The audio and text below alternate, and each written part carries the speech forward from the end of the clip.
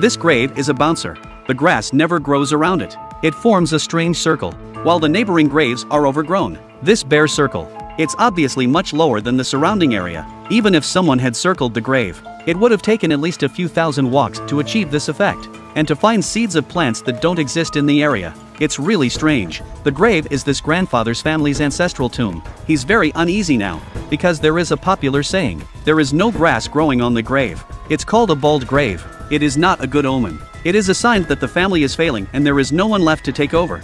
He now wants to know why this is happening. The crew set up a camera in the flat opposite. The next day, a mysterious creature was caught on camera. The crew took a long time to identify it. It was identified as a pheasant. It kept circling around the grave. It was spinning backwards and forwards. So why was it only circling this grave? So the team called in an expert.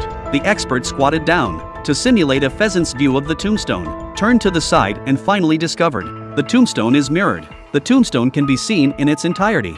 This means that the pheasant can see itself through the tombstone. During the rutting season, the male pheasants compete for the female pheasant. When they see other male pheasants, they can become very aggressive. He must have seen himself on the tombstone as his rival. As for the plant seeds found around, it means that it also poops during its circling. Just in between the team's investigation, this pheasant was still in the heat. He's still fighting around the tombstone. What a persistent pheasant.